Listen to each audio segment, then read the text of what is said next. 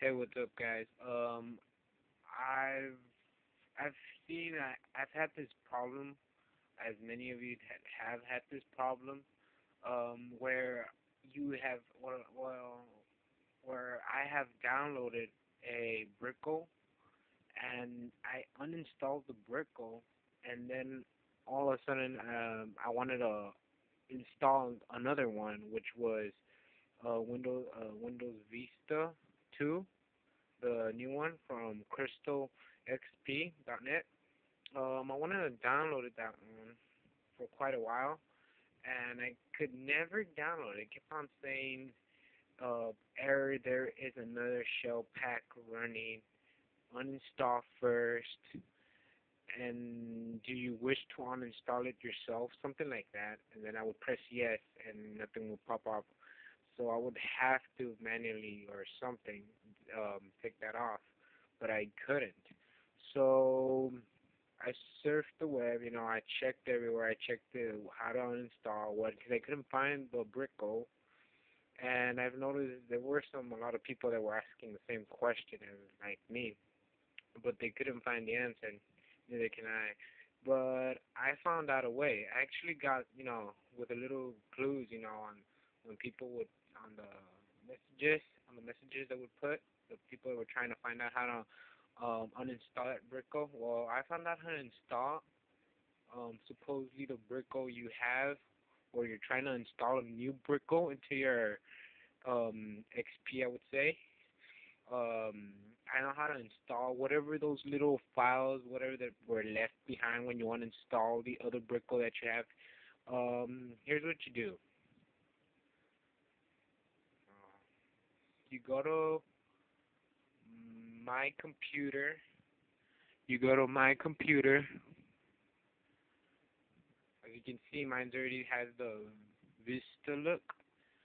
Although, if you're a person that really wants your computer really fast, I really don't recommend this. Because I would really recommend if you had an XP, just put it on the classic mode. In the classic mode, it's faster because that's like the most like it's the most original one that it was supposed to be for the XP, the classic. So with the classic, I mean, it's much faster than. But if you download one of these, the brick goes. I mean, it does get a it does get a little slower. So I don't really recommend it that much. But those of you that just want the Vista look, go go right ahead, download it. All right, you get into my computer. I would really should have put it on XP for you. Those of you you know, new visual might get you a little confused, but you should get it. It's the same thing. Um, you got a local disk, alright? Alright, as you can see, it's a little bit slow. Uh, you go to, uh, what was it? Oh, yeah. You go to open, you open it, and then you should, yeah, where is it? You go, you look for one that, a folder that says Windows. There we go. There's the Windows. Windows, and after Windows, you should get all these files, right? All oh, my bad, all these folders, and of course some files. Yes. Um, on, let me merge this. There we go. And you get all these folders. Oh, guess it froze up a little bit here. This hold up this is why I wouldn't recommend that much the Vista. But those of you that have wanted it into a Vista look, you might want to put it into attention on that. That it kind of does get a little freezy. Alright, I don't know why it's freezing all of a sudden really bad right here. I mean, it wasn't freezing this bad. Alright. Alright, alright, we got it. Alright, so you open up Windows, you open it up, you scroll down, you're you're supposed to look for something called what's it called? Reg edit. It's it's this one. Reg edit. Where is it? That one. That one. Reg reg reg edit. All right. You find that one. Hold on. First, you, see a bunch of folders at the beginning, a bunch of folders at the top. But you scroll down. You scroll down. You you find Regedit. You click it and I don't I recommend you do not mess around with this program. This program is connected to your whole PC. I mean, it has all the main, you know, programs. I mean, you don't want to mess with this. This might really break your computer. All right. Then when you click on it, you get you get this window right here. Yeah, you get all this, and you go to my cur my current user.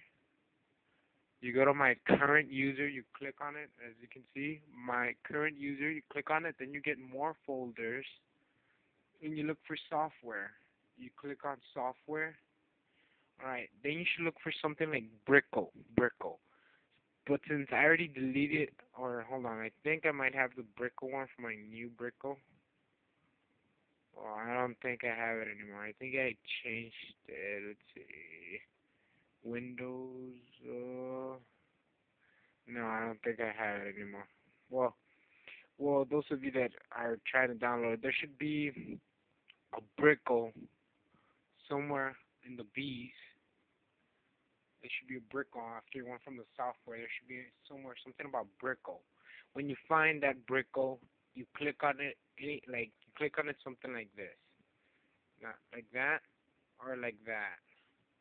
But just click on it, and on this side, on the right side, you get these little windows right here, these little folders, and whatever's there, delete it from the brick. After you're done deleting, one of them might come up and say you cannot delete or whatever.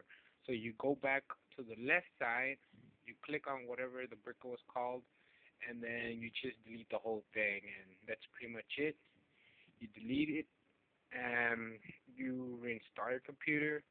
You go back to whatever website you downloaded the Windows Vista in Spirit, as in in Crystal, I would say, Crystal XP.